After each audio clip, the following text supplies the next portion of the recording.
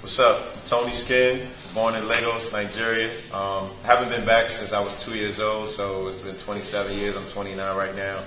Um, I'm six foot, 175 pounds. Last season I played in uh, Ashkelon, Israel, first division, and that's pretty much it.